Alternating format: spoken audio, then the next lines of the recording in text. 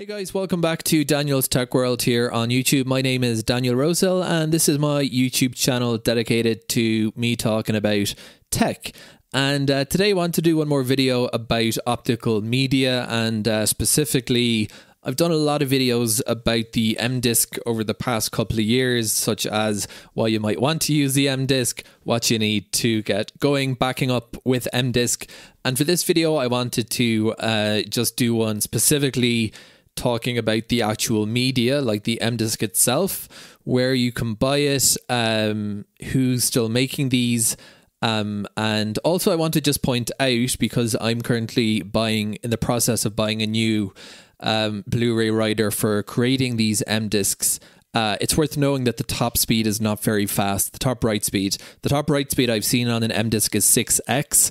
So it's just worth worth knowing if you're looking to get into optical just to create M discs. Uh, it's kind of a waste getting a 16x drive or it's not a waste but it's just you know it's not going to help you for m disk burning that you won't you won't be able to get the speed uh, because the uh, the disk process the disk is actually a speed constraint. It doesn't support very high write speeds.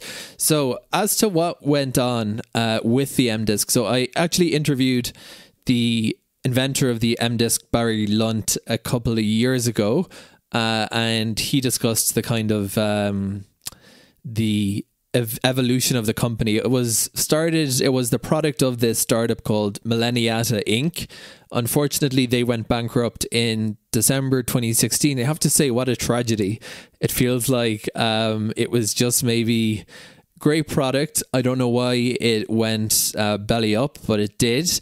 Um, but the IP was transferred to Verbatim, and Wikipedia says Ritek. I can't recall if Barry said that Ritek is a um, is a like legitimate manufacturer, but I, it seems to be that they're still making these, and Wikipedia mentions um, that they are.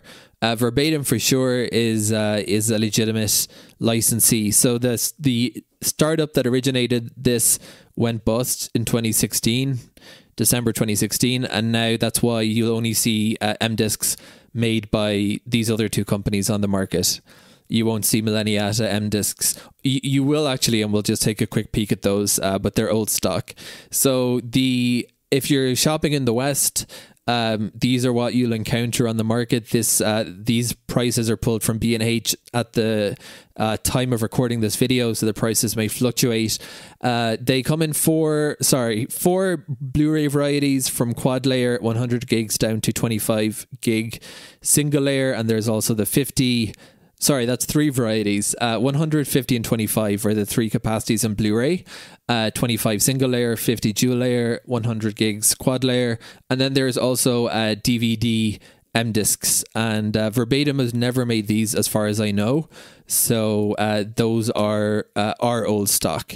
Um, here's more of the uh, Verbatim M discs, the uh, DL 50 gig ones. And they, they tend to come in single packs like this one, uh, five packs like this product, and then the 25 spindles, which are obviously the most expensive because it's the most media. Um, so I think at the 100 gig 25 spindle, you'll get in, it'll be about 200, 250 bucks thereabouts. Um, so as I mentioned, um, as far as I'm aware, that's the caveat. Um, Verbatim have never made any DVDs because I guess by the time they got this tech, uh, DVDs were no longer making sense for archival because Blu-rays were on the scene. Um, but you will still actually see this is what they looked like the Millenniata M disc DVDs. Um, you can still actually find them on Amazon. Um, and they do have a write speed of 4x. So in general, I've made the point that I don't. I'm not really as someone who uses optical for archival. I'm not so worried about deprecation and obsolescence. I think that by the time that's a real, real threat, and you know there'll be plenty of time to move your archival stuff onto the next media, whatever whatever is better, and hopefully a um, storage media suitable for archival, cold archival with much better capacity than optical I hope that will be developed in the next couple of decades.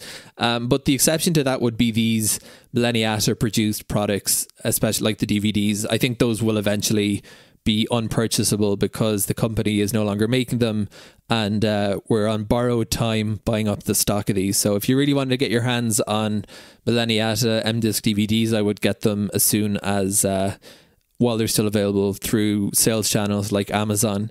Um, you can actually still also find the M Disc BDRs, amazingly enough. Um, as far as I know, this is what this product is. I pulled from Amazon. It's got the the kind of their distinctive branding.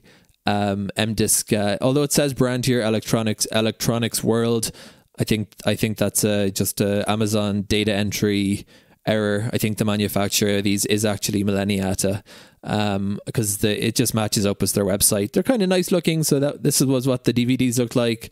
And this is what the BDRs look like. Um, so then the other one is Ritek, as I mentioned, and they are a Taiwanese manufacturer. People on Reddit, the Data Hoarder sub, have kind of mixed things to say about Ritek. Some people say their discs aren't overall the best, uh, but they say that they produce uh, two types only. Um, they don't seem to make the uh, quad layer Blu-rays or the dual layer. If you have seen them by Ritek, feel free to correct me in the comments. Uh, this is we all are uh, the few few people in the world who care about archival media. we're we're kind of all in this together. Um, so yeah, this is uh, but their website in English at least, and I'm sure they have a better website in Taiwanese or Chinese. Um, their English version of their site only says that they do two products. Uh, so this is anyway. This is what the BDR looks like. The um, uh, 25 gig BDRs, and this is what the DVDs look like. I found this listing on AliExpress, which for those who don't know about AliExpress is kind of a good way to access Asian products. Uh, if you live in the West, uh, they I found the six pack of Ritek M disc DVDs, um, 4x writing speed, and uh, $34. So let me just do that quickly. Sorry, 34 euro, uh, 34 over 6. Load, load, load. Okay, that's 5 euro and 67 cents. So relatively uh, quite expensive. Like you're better off unless you have some specific reason to use the DVDs it's uh it's going to be a lot cheaper to just use the uh, BDR media. Uh, so that's it. That's my overview. Hope this is helpful. If you're looking to start archiving onto the M disk in uh, in the year 2024. Until the next video, thank you for watching.